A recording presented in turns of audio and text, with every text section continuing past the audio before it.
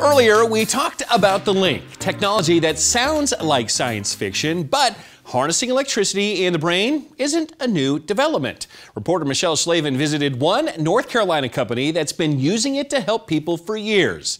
Nice helmet there, by the way, Michelle. Tell us more. Hey Brian, here at Play Attention, they're using brainwave technology. Now, this is high-tech equipment, at least it was when they started 25 years ago. They've come a long way since then.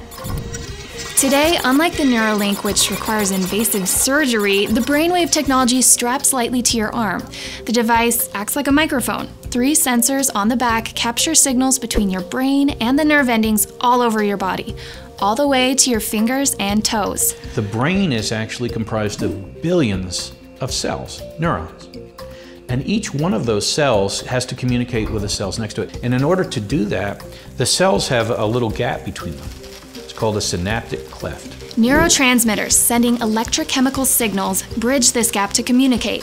When millions of these chemical reactions happen at once, it creates an electrical field. This is the brainwave. With 14 different games, Play Attention uses the armband to monitor and measure brain activity, showing how well a person focuses their attention. I took a whirl at it myself. I want to be an orca. So I want you to pay attention to the orca as if it were very important. And with your attention, the more attention you pay, the orca will go down. Now, if we distract you, while you're doing that, the orca is going to go up. Using NASA inspired neurotech, the program helps people with ADHD and other focus issues learn to pay attention. I integrated a behavior shaping program so that kids can understand how their behaviors actually affect um, their work and how their attention affects their behaviors. The brain can essentially be rewired. If communication between two neurons is weak, causing attention issues, it can be strengthened with practice.